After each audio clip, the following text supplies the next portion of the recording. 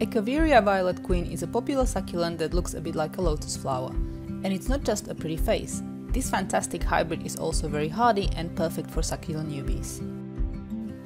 The silvery grey rosettes turn light pink or violet when the plant is stressed, most often by cold weather.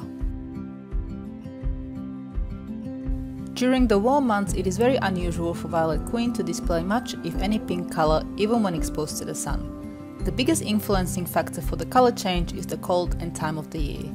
Here in Australia, violet queen colors up almost exclusively in winter and early spring, but in cooler countries with lower night summer temperature, the color may persist all year round.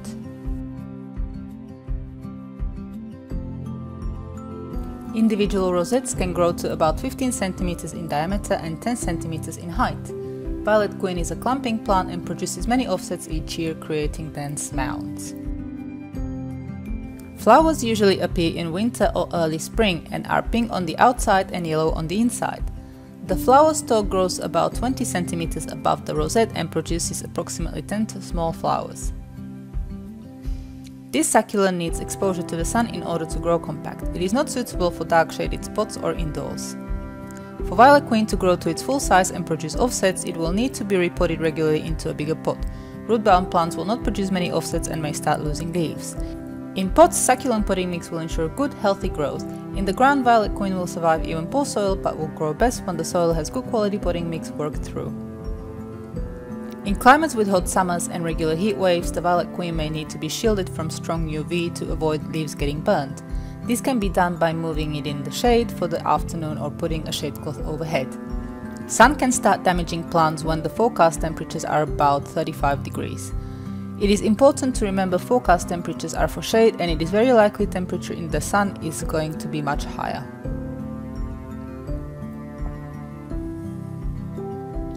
Echeveria violet queen is not too sensitive to overwatering and tends not to get affected by mold or other fungal diseases, even when it's humid and rainy. However, the potting mix needs to be well draining.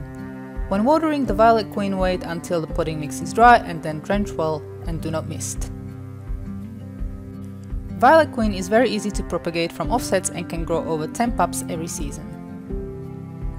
It is important to let the pups develop a long enough stalk that can be either cut through or pulled from the mother plant.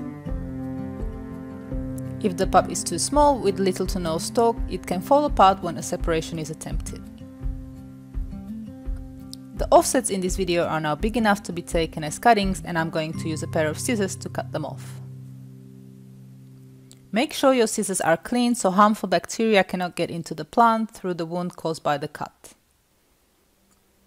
It may sometimes be easier to take the plant out of the pot to get to the pup's stalk. In this scenario, I don't need to do that as the stalks are accessible enough. The pups can also be gently pulled off, but I prefer to cut as sometimes the stalk left behind on the mother plant can grow new pups. I'm only going to take a couple of pups off as I want this plant to grow into a big clump. The pups will now need to be left to dry for at least 24 hours. The wound created by the cut needs to seal itself so harmful bacteria or fungus cannot get in. Violet queen can be propagated from leaves, but it is not easy and in all honesty I don't usually bother. First of all, all the leaves can be really hard to pull off and break easily, and secondly, they have a very low strike rate. But let me show you on a different, smaller plant. This violet queen will be a bit easier to maneuver. I'm now going to take the pot off so I have better access to the most bottom leaves. It has been raining a lot recently and so this violet queen is full of water and as a result the leaves break easily. When the plant is dry, the leaves are much easier to take off. I've already broken two leaves just by handling and trying to find the best leaf to start off with. Try pushing the leaf gently left and right and then pull out. Sometimes even the gentlest of nudges will dislodge the leaf. I'm having very little luck here, all the leaves I'm trying to take off are breaking. To be able to propagate succulents from leaf, there can be no breakages. The leaf needs to come off the stalk clean and undamaged.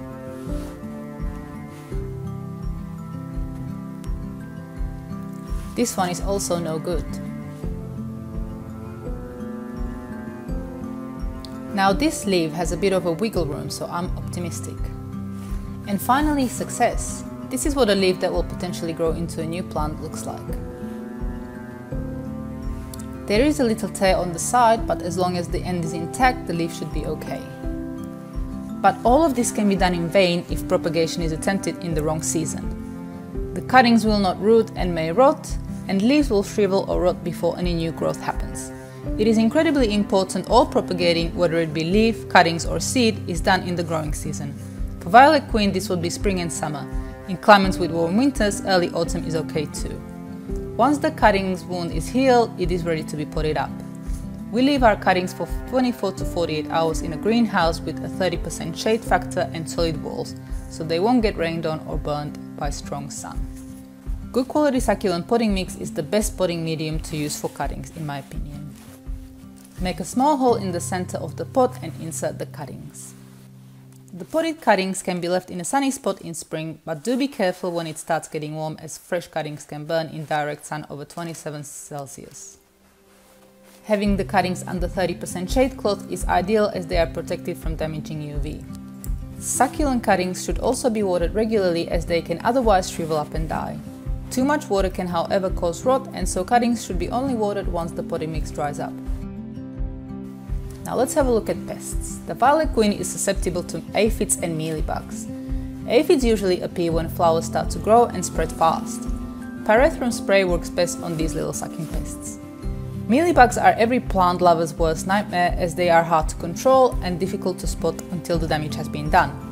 Squashing, 70% alcohol and regular checks work best to keep mealybugs at bay. Other pests that can attack these plants include snails, slug, caterpillars and grasshoppers. To conclude, Echeveria Violet Queen is a fabulous and hardy succulent suitable for collectors as well as beginners. The wonderful winter colors make it stand out and it is also incredibly easy to grow and propagate. 10 out of 10. For more information on growing succulent, visit our website succulentgrowingtips.com.